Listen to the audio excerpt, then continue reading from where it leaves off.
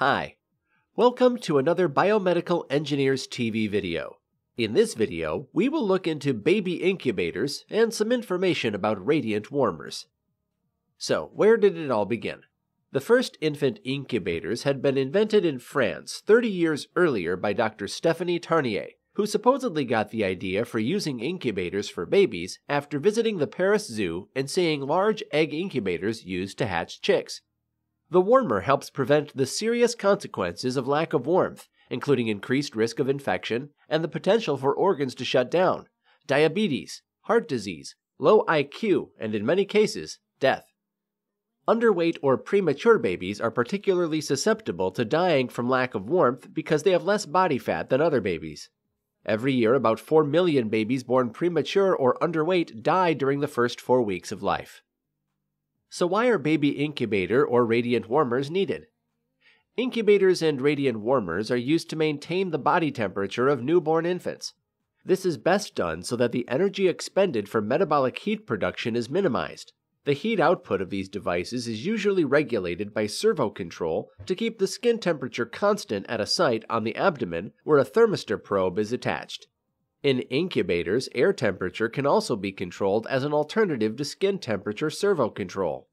Increased ambient humidity, heat shields, and clothing have been used to decrease the evaporative or no evaporative heat loss of infants in incubators under certain conditions. Double walled incubators, by adding a second inner layer of plexiglass, reduce radiant heat loss. They may also reduce total heat loss, but only if air temperature is controlled rather than skin temperature. The minimal oxygen consumption under a radiant warmer is the same, or perhaps slightly higher, than it is for the same infant in an incubator. Compared with incubators, the partition of body heat loss is quite different under radiant warmers. The major advantage of the radiant warmer is the easy access it provides to critically ill infants without disturbing the thermal environment. Its major disadvantage is the increase in insensible water loss produced by the radiant warmer. Most infants can be safely and adequately cared for in either incubator or radiant warmer bed. So, how do baby incubators and radiant warmers work? Let's start with baby incubators. Fully enclosed, an infant incubator carefully controls its environment to protect infants during their earliest stages of life when they're most vulnerable. The incubator may include an AC powered heater, a water container to add humidity, a motorized fan to circulate the warm and humid air throughout the cabin of the incubator, a control valve through which oxygen may be added, and a servo control to help regulate air temperature, a temperature sensing thermistor taped to the infant's abdomen. Hand access ports with doors limit the introduction of cooler air while the infant is being handled, and the hood or side panel can be opened to gain greater access to the infant. The heat circulated in the cabin is then absorbed into the body by blood convection and tissue conduction ideally keeping both the skin and core temperature maintained by minor variations. Now, let's look at radiant warmers. Radiant warmers are regularly used in delivery rooms and neonatal care units to simultaneously provide external heat and open access to newborns. Immediately following birth, infants are routinely placed under the warm radiant light to help stabilize their temperature until they can achieve self thermoregulation. Monitoring and resuscitation can easily be performed from the open access of a radiant warmer, along with any necessary procedures. Radiant warmers are also used for critically ill patients that require constant nursing intervention. Radiant warmers are usually overhead heating units consisting of a heat source, skin temperature sensor, servo control unit, and both visual and audible alarms. The heating element generates radiant energy in the far IR wavelength region but is limited to prevent thermal damage to the infant. The IR energy is readily absorbed by the infant's fragile skin, increasing blood flow in the skin, then transferring the heat to the rest of the infant's body by blood convection and tissue conduction. Since a radiant warmer is open to the air, evaporation is a major factor of heat loss. Most radiant warmers have short walls around the perimeter of the mattress to reduce the amount of overflow over the patient and thus limit evaporative heat loss. Let's look into the components of a baby incubator. All infant incubators work on the same principle. A fan blows filtered ambient air over a heating element and a water container. Through a control valve, additional oxygen can be supplied to the air. The moistened, heated, and enriched air now flows into the above cabinet with the baby. One part of the air escapes from the cabinet through vent holes, another part gets back into the air processing. The major components of a baby incubator are the fan, filters, heater, temperature control, humidity control, and oxygen control. First, let's look into the fan. The fan takes the filtered room air and blows it over or through the heating element and the humidifier. Without the fan, the heat cannot be conducted away from the heating element, and the heating element, and thus the incubator, would overheat. The second component is the filter. Simple incubators are equipped with washable foam filters.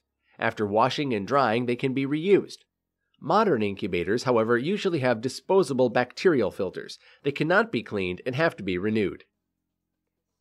The third component is the heater a heating element made from coil resistance wire as known from hair dryers or the tube type. Flat or coiled, as seen in autoclaves, are used to heat up the air. But unlike in autoclaves, the heater has much less power and thus does not get so hot. The power rating is between 100 and 300 watts. The heater is controlled by an electronic temperature control unit via a relay or TRIAC, or simply by a thermostat. The fourth component is temperature control. Simple incubators are controlled by a thermostat which consists of a sensor and a pressure can. The sensor is a thin capillary tube which leads into the pressure can, or expansion chamber. This chamber has a movable metal lid or diaphragm. This closed system contains a liquid or gas which expands when getting warmer. The lid moves and activates a connected electrical switch. The fifth component is humidity control. The heated air flows over the water in the water container and gets moistened. The humidity can be regulated by closing and opening a deflector plate over the container. Other incubators have a water heater which creates more humidity the warmer the water gets. The humidity should be adjustable between 40 and 90%. The humidity is measured by a hygrometer, a digital or a traditional dial instrument. The humidifier should be filled up only with distilled water, only in order to avoid corrosive damage to the incubator. The sixth component is oxygen control. Most of the infant incubators have a hose connection for applying additional oxygen from an external cylinder, oxygen concentrator, or from the central gas supply. In this case, the warmed and moistened air also gets enriched with oxygen. Alternatively, the baby gets the additional oxygen directly via a nasal cannula. Let's look into the types of baby incubators. There are several different types of baby incubators, and your baby may be in different types at different times depending on their needs. These include the open box incubator, which provides heat underneath the baby but is otherwise open. The closed box incubator. This type has a fresh air filtration system that prevents the loss of moisture from the air and helps prevent infections. Double wall incubator. This type has a double wall system for even more protection from heat and moisture loss. Servo control incubator. This incubator can be programmed to adjust the temperature and humidity level based on sensors that are attached to the baby. Transport incubators. These are used to move babies from one place to another, such as from one part of the hospital to another or a different hospital altogether. This was the simplified video on baby incubators and infant radiant warmers. As there are many points that need to be covered about radiant warmers, we will look into that in another video. I hope video. I hope you loved this video, and if you did, please give us a thumbs up and subscribe down below. I'll see you guys in the next video.